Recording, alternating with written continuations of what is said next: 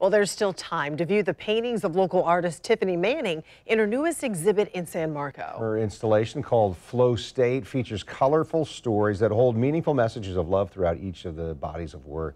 Manning says that she comes to the canvas with a clear mind, with an urgency to express her emotions through the organic process of dance. Take a hmm. look at those. Those are spectacular. You can see some of this work there. It's in Bold Bean on Hendricks Avenue and will be there until August 11th. Wow, the stories behind those, huh, John? Absolutely, right around the corner, too.